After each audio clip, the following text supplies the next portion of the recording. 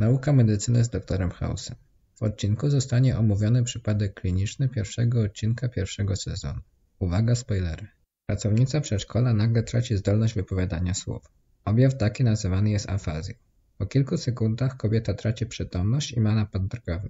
Objawy takie jak afazja i utrata przytomności są typowe dla udaru mózgu. Bardziej typowy dla udaru krwotocznego, ponieważ udar krwotoczny ma ostrzejszy, bardziej dynamiczny przebieg. Udar można podzielić na niedokrwienny, który stanowi 80% wszystkich przypadków.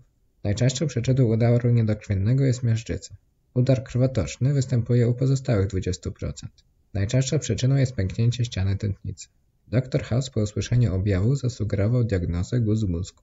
Typowe objawy guza mózgu, które wystąpiły u pacjentki to ubytek neurologiczny i napad padaczkowy w postaci drgawek. Natomiast dr Wilson, przyjaciel House'a, powątpiewał w tą diagnozę. Po pierwsze, pacjentka ma 29 lat.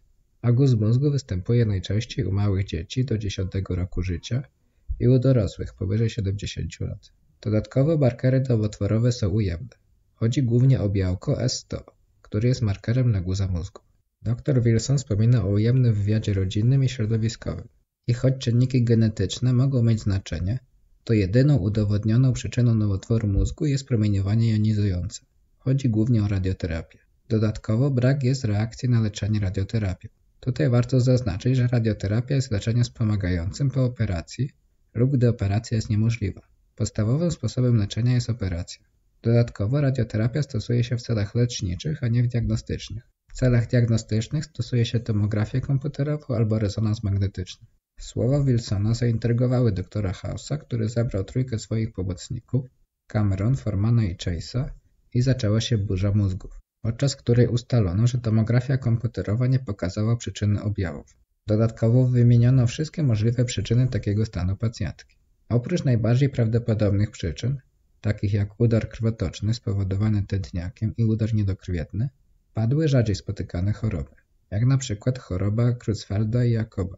Jest to choroba wywołana przez priony, czyli nieprawidłowe białkowe cząsteczki zapalne.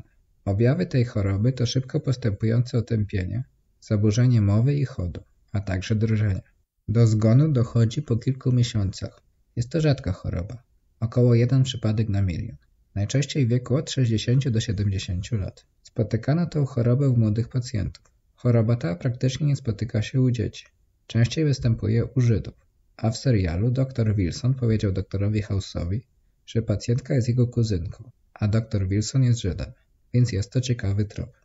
Inną chorobą jest encefalopatia Wernickiego. Jest to choroba spowodowana niedoborem B1. Spotyka się u alkoholików. Charakterystycznymi objawami jest ataksja, czyli zaburzenie koordynacji ruchowej, a także zaburzenie świadomości i konfabulacja, czyli wspomnienia rzekome. Natomiast u pacjentki tiamina, czyli witamina B1 była w normie. Zdecydowano o przeprowadzeniu rezonansu magnetycznego z kontrastem. Kontrastem był gadolinium. W przeciwieństwie do kontrastów stosowanych w tomografii komputerowej, jest on bezpieczny dla nerek i tarczycy. Wskazaniem do MR z kontrastem są nowotwory układu nerwowego, udary i stwardnienie rozsiane. Okazało się, że pacjentka ma uczulenie na kontrast i wystąpił u niej wstrząs anafilaktyczny z obrzękiem krtani. Na szczęście Cameron w porę zorientowała się w sytuacji, podano adrenalinę i wykonano tracheotomię, czyli rozcięcie tchawicy.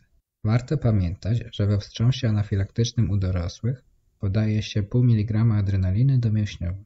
Nagle doktorowi House'owi przyszło do głowy, że to może być zapalenie naczyń mózgowych, bo pacjentka miała podwyższony OB. Doktor House zlecił podanie dużych dawek prednizonu. Było to duże ryzyko.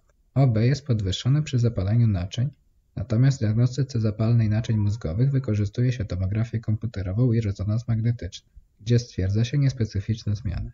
Dodatkowo wskazane jest badanie płynu mózgowo-rdzeniowego, gdzie najczęściej występuje podwyższony poziom białka i pleocytoza, czyli ogólny wzrost liczby komórek. Badaniem potwierdzających rozpoznanie jest biopsja. Natomiast dr House uznał, że nie ma czasu na głębszą diagnostykę. Forman dowiedział się, że w przedszkolu, gdzie pracowała pacjentka, była papuga i uznał, że to może być papuzica, inaczej ornitoza, która może dawać objawy neurologiczne. Natomiast ornitoza objawia się zapaleniem płuc z krwioplucia, wysoką gorączką i powiększoną wątrobą. Dodatkowo dr House słusznie zauważył, że w przypadku choroby papuziej w szkole powinno być więcej chorych. Tymczasem stan pacjentki najpierw się poprawił, a potem znacząco się pogorszył. Pacjentka straciła wzrok i dostała napadu drgawek. Forman z Cameron włamali się do domu pacjentki, aby znaleźć przyczynę środowiskową.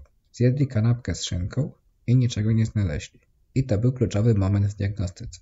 Czy domyślasz się, co może dolegać pacjentce? Szynka to wieprzowina. A gdzie jest wieprzowina, tam jest wągrzyca. Wągrzyca układu nerwowego to neurocysciceroza. Neurocysciceroza to najczęstsza postać wągrzycy. U około 50% chorych z przebiegu bezobjawowym. Pacjentka chciała szybkiego potwierdzenia diagnozy, więc zrobiono rentgen nogi, gdzie uwidoczniono wągra w mięśniu szkieletowym. Oprócz tego inną lokalizacją może być oko i tkanka podskórna.